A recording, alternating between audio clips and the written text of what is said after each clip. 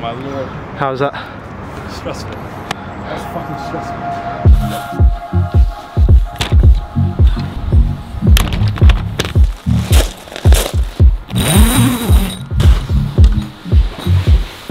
and welcome to the video. So what we're going to be doing today, if you couldn't tell already, is some abandoned portrait photography. Now, this was shot a few weeks ago, but due to how busy I've been with uni and Christmas, I haven't got around to editing this video. So on the day, the model I used was a good friend of mine, Keenan.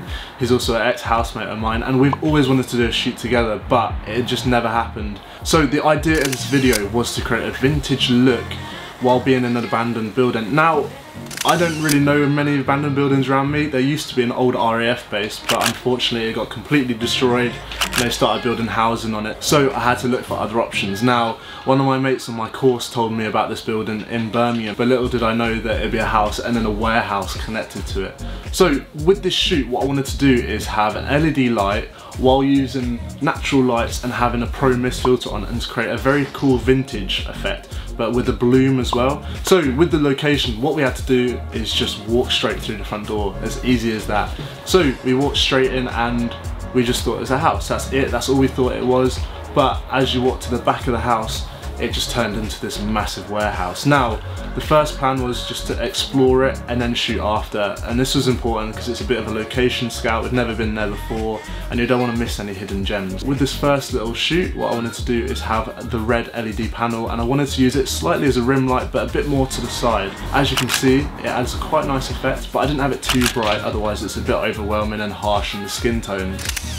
As you can see from how I got into pose, I wanted them to be a bit more casual, a bit more street, a bit more vibey and chill, which he absolutely owned. So for this next little shoot, we just turned around, we moved so the skylight was on the right side and changed the light from red to green. So I've never really shot with a green LED before, but I absolutely loved it.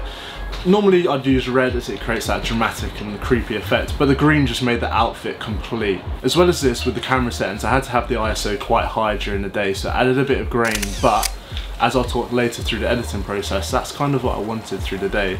So the next location was in front of these shelves, and as you can see, there are tons and tons of spray cans. Now, this was perfect. It added a slightly different style, but kept that abandoned look. Now, didn't have any skylight on this one, so I changed the light just to normal core temperature.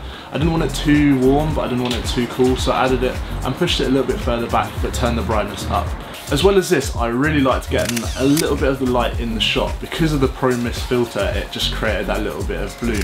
Now, from this location, I had one more idea inside the warehouse, and that was to go on some stairs. Now, Keenan was happy to do it as long as he didn't have to go up too high because of the flooring, uh, but we had to just shoot it quickly. So the idea was to create a dramatic look, but I wanted to kind of make it a bit more artsy. I get him leaning back on the stairs, bit him like looking around, that sort of style, and then I'd sort out all the lighting from that point.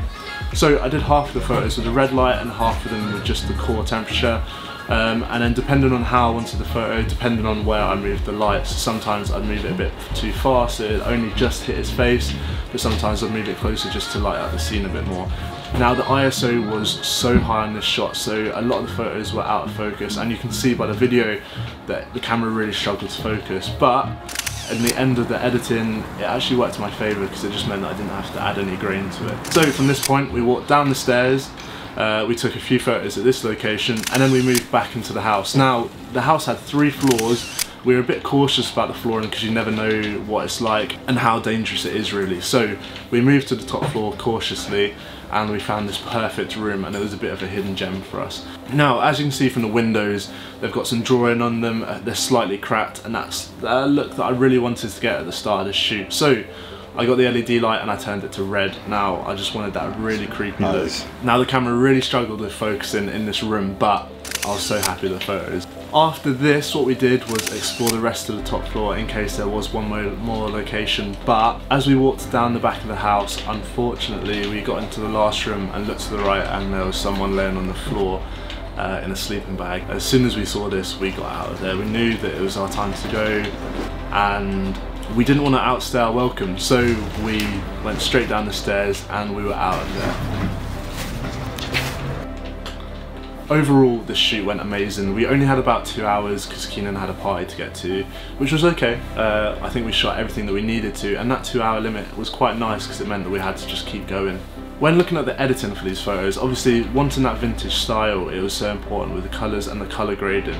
As you can see, I changed a bit of the pinks, a bit of the blues, but one of the biggest parts of all these photos that I edited was making masks. Now with Lightroom, you can actually use subject detection and you can separate it from the background. Now this is so important for me, especially when you're shooting with such a high ISO. You don't want to just always affect the person when you're changing the background, so I use that a lot. Overall, I'm so happy with how the shoot went. Now, this is something I'd love to do again and I want to say thank you so much Keenan for being the model. Uh, if you guys want to follow him, his Instagram will be in the description. Now, if you guys have any questions as well, please put them in the comments. Um, and yeah, thank you guys so much for watching. This was quite a fun shoot to do and I'm looking forward to the next one. Unfortunately, didn't get to shoot too much in the day, but that's okay. Uh, so yeah, thank you for watching and I'll see you guys later. Peace.